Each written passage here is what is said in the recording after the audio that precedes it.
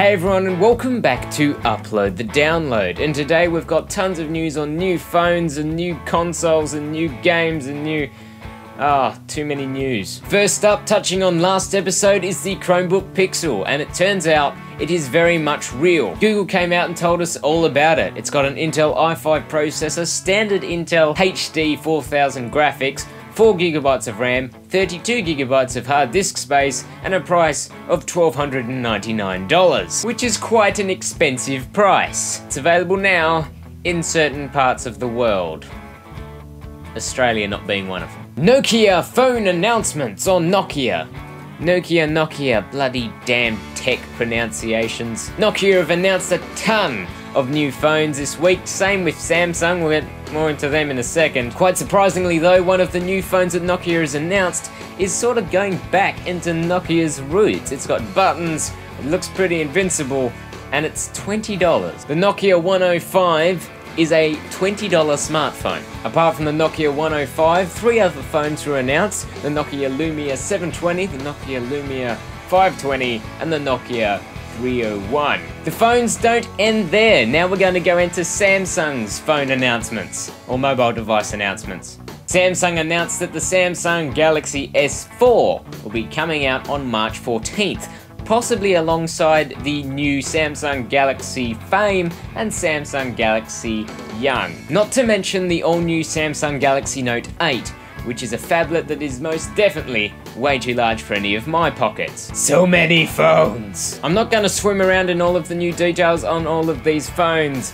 You can find them in the description, I'll put links and info and all that snaz down below so that I don't have to speak them here, otherwise we'll be here for years. Next up is Ubuntu Tablet OS. Now of course the mobile preview of Ubuntu Mobile OS has been available for a few weeks now for people to download and install it on their phones and try it out and it seems that while everyone was running around and, you know, getting rid of their Android, uh, Canonical has actually come out and said, guess what? Ubuntu also does tablet. It was made quite clear some time ago that Ubuntu really is aiming at going everywhere, whether it's desktop, phone, tablet, or television. And I think that Canonical sticking to this idea of a unified interface across all of these devices will definitely help hold its execution of the idea together a lot better than a lot of other people who have tried to do this. Whereas others have had a phone that has Android and then when you plug it into a desktop it becomes a Linux distro, you know, Ubuntu is going to be different to that. It's going to be the same, same, same, same. Fluidity! So much talk about phones and tablets, it's time to get into something that really matters in real life superheroes. A guy by the name of Victor, whose last name I am not going to try and pronounce, over at the University of Illinois in Chicago has created a new Spider Sense suit. The suit, which could prove incredibly useful for those without vision, is able to detect nearby objects and tell the user by feel. Which I think is pretty cool, so you know, just add a few more features like, I don't know, being able to climb up walls and maybe shooting webs and I'll take 10. Next up, Sony had a massive two hour long press conference to announce the PlayStation 4. And amazingly, somehow, in that time, they managed to not show the console once. However, they did show off the pretty good specs for a gaming console. Wink wink, nudge nudge, PC gamers, you know what I mean. And tell us that PlayStation 3 discs will not work in the next generation console. But that's okay, because you can just go and download them again off the PlayStation Store.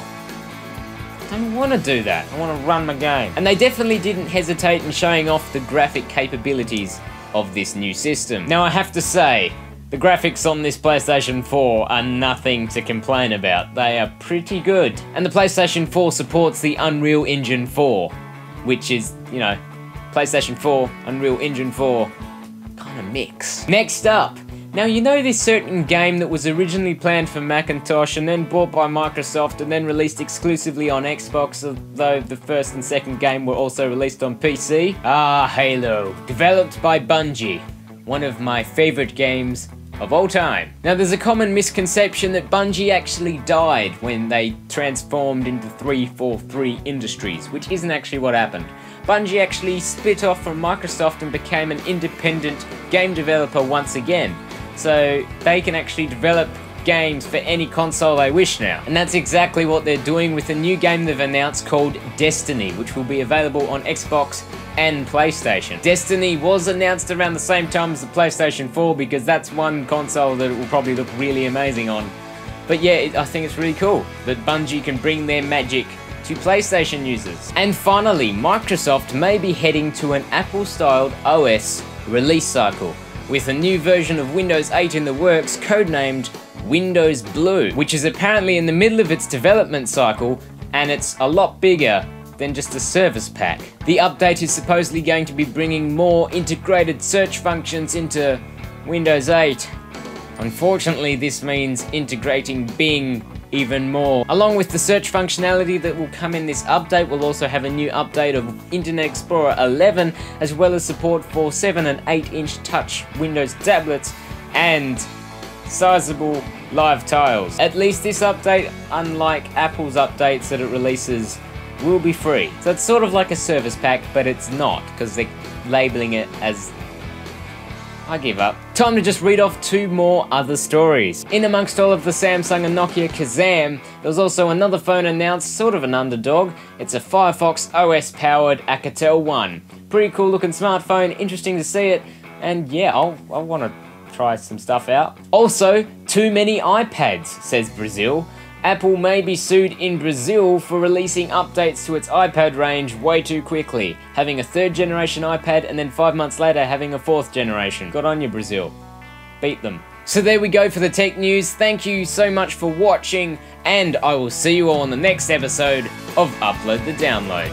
See you later.